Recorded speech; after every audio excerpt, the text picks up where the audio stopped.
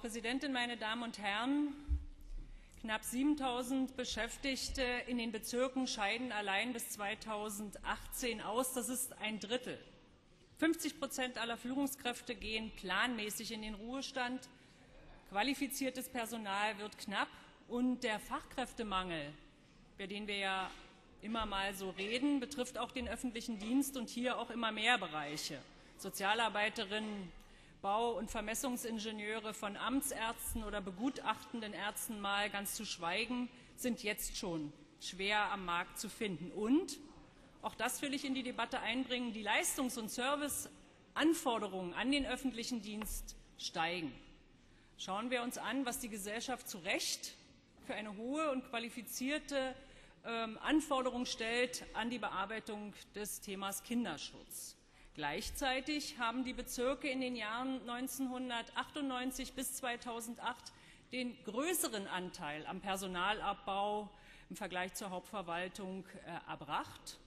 Und jetzt, durch die neue Situation, drängen auch die Beschäftigten des EZEPs darauf, eine echte in Anführungszeichen, Stelle zu bekommen, um wirklich motivierend auch eingesetzt zu werden.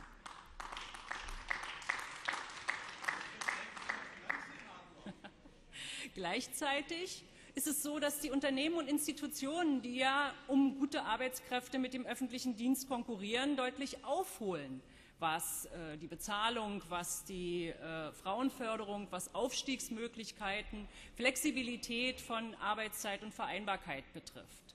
Das alles sind gravierende Veränderungen, die ich finde, die wir mit zu betrachten haben, wenn es um die Personalentwicklung des Landes Berlin geht. Aber wir stellen fest, dass genau dieser Punkt, der dringend notwendig wäre, nämlich eine wirkliche Personalentwicklung, die ihren Namen verdient, nicht prioritär behandelt wird. Und die Personalabbauvorgaben für einige Bezirke auch Konditionen für Neueinstellungen äh, sind doch irritierend und teilweise auch erpresserisch. Ich will das durchaus an ein paar Beispielen äh, unterlegen. Die Bezirke Marzahn und Lichtenberg, die nach der Kosten- und Leistungsrechnung zu den effektivsten äh, äh, oder effektivsten, am effektivsten wirtschaftenden Bezirken gehören, sollen Personal abbauen.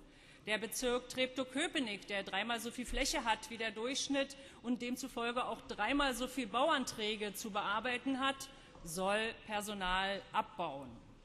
Der Bezirk Mitte sieht sich gezwungen, das gesamte Personal bzw. die Stellen für das gesamte Personal, das in dieser Legislaturperiode ausscheidet, wegfallen zu lassen. Das ist natürlich nicht verantwortbar, weil es nach dem Zufallsprinzip und auch quantitativ so nicht zu realisieren ist. Und auch die Bezirke, die einstellen können, geraten jetzt in eine Konfliktsituation zu den Bezirken, die Personal abbauen müssen, weil sie werben um Fachkräfte, um nicht zu sagen, sie werben Fachkräfte und Führungskräfte ab mit dem klaren Versprechen, ihre Arbeit mit hohen Qualitätsanforderungen auch zu besseren Konditionen, beispielsweise nur mit 50 Prozent von Fällen pro Monat zu bearbeiten. Auch das ist eine unverantwortliche Situation für die Frage Leistungsfähigkeit eines öffentlichen Dienstes, den man nicht nur sicherstellen, sondern auch ausbauen muss. Darf ich Sie kurz unterbrechen? Frau Blum. Ich würde darum bitten, dass die Gespräche am Rande bitte eingestellt oder nach draußen verlagert werden. Und die Fraktion Die Linke bittet um die Zitier beantragt die Zitierung des zuständigen Senators für Finanzen. Also mir würde es schon reichen, wenn wir diese Debatte im Hauptausschuss führen können, weil im Moment besteht ja dazu nicht mal äh, die Bereitschaft, ziehen Sie das zurück. Problem umfassend. Okay. Nein, nein, ich habe ich hab nichts dagegen, dass die Kollegen sich dass die Kollegen sich an dieser Debatte beteiligen. Ich fände es aber auch schön, wenn der Hauptausschuss seine Bereitschaft erklären würde, über dieses Thema weiter zu reden, weil momentan ist das ja nicht der Fall.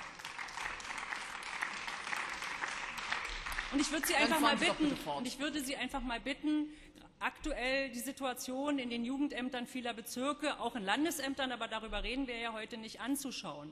Wir haben eine unglaublich verdichtete Arbeitssituation. Wir haben einen Krankenstand von bis zu 30 Prozent in bürgernahen Bereichen und wir fordern zu Recht Qualität in diesen Bereichen ein, schauen aber aus meiner Sicht nicht ausreichend, ob diese Qualität auch zu erbringen ist. Und jetzt werden Sie ja in Ihren Redebeiträgen wieder sagen, nein, die Situation ist ja völlig anders, die Bezirke können ja sogar einstellen. Ja, es stimmt, drei Bezirke haben die, haben die äh, Chance, momentan neu einzustellen, aber auch die werden feststellen, dass sie das Personal nicht finden, das sie suchen, weil nach dem neuen Tarifrecht äh, Menschen, die schon lange woanders gearbeitet haben und Erfahrungen mitbringen, äh, als Berufsneulinge behandelt werden und äh, weil natürlich auch die ZEP-Beschäftigten ihr Recht einklagen. Deshalb glaube ich, so kann, man, so kann man mit dieser Situation nicht umgehen.